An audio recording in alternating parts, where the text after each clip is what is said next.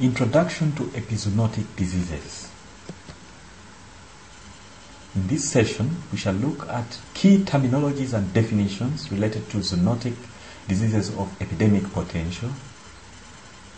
We shall look at the zoonotic diseases of epidemic potential in Eastern Africa, the significance of epizoonotics as emerging diseases, the factors promoting emergence of epizoonotic diseases, the consequences of epizoonotic diseases, and general response interventions for epizoonotic diseases, and then issues related to animal welfare. A zoonosis is a disease or infection which is naturally transmitted between animals and humans. It may occur from an animal to human or from human to an animal. A simpler definition is a disease that normally infects animals but can also infect humans. An epizootic disease is an outbreak or epidemic of disease in an animal population. An enzootic disease is a disease that is endemic in animals. Exotic diseases are those which are imported into a country in which they do not otherwise occur. An example is avian influenza. Emerging and re-emerging zoonoses are diseases caused either by totally new or partially new agents or by microorganisms previously known but now occurring in places or in species where the disease was previously unknown. Examples of these include influenza, Ebola, and SARS.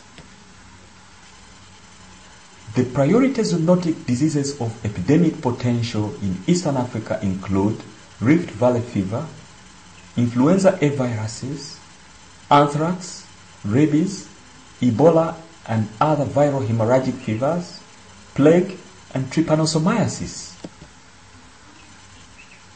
What is the significance of epizoonotics as emerging diseases, especially in Eastern Africa? Globally, there have been over 20 new diseases in the last 30 years. Over two-thirds of new disease-causing agents arise from wildlife. Examples including SARS, Nipah, H5N1, H1N1. Domestic animals account for 20% of new zoonoses. The East and Central African region is a hotspot for new diseases.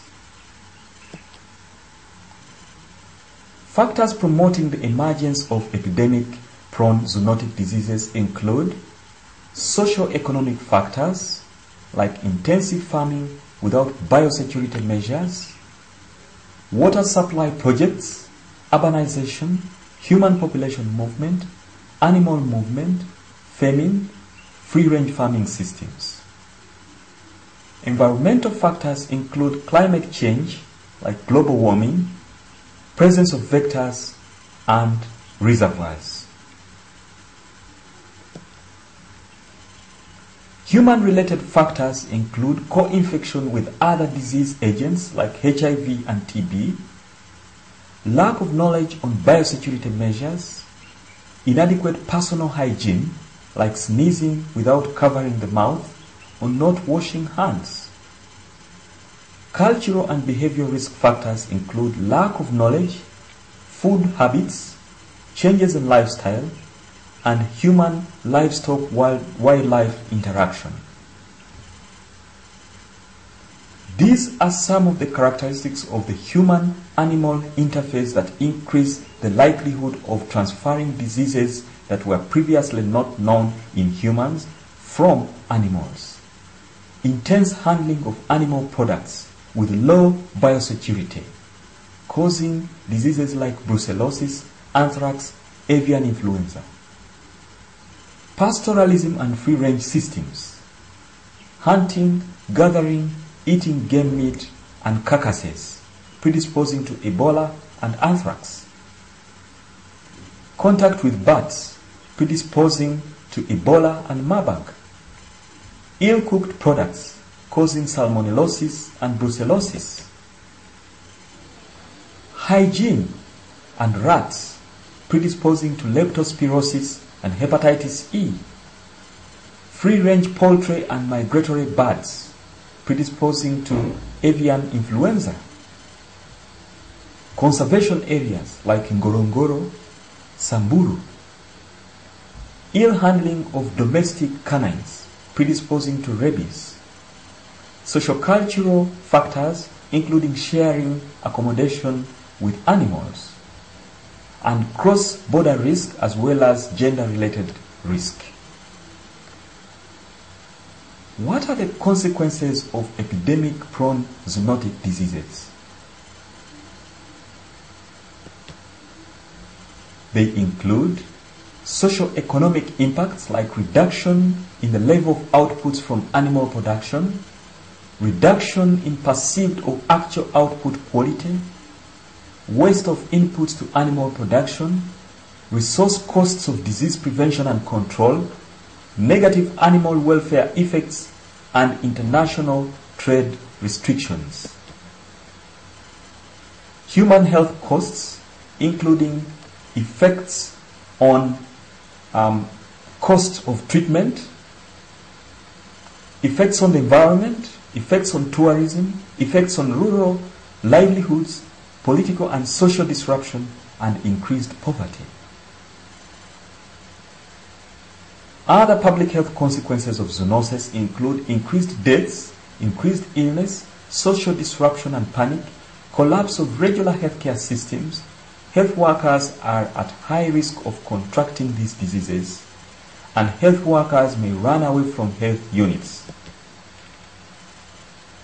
Response interventions include farmers should report incidents to animal and human health workers, provisional quarantine of affected areas if necessary, confirming the occurrence of the outbreak and notifying the authorities,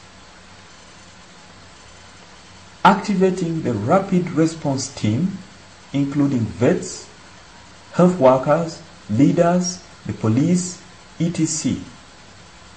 Identifying the probable source of infection and identifying the severity of the infection and extent of spread.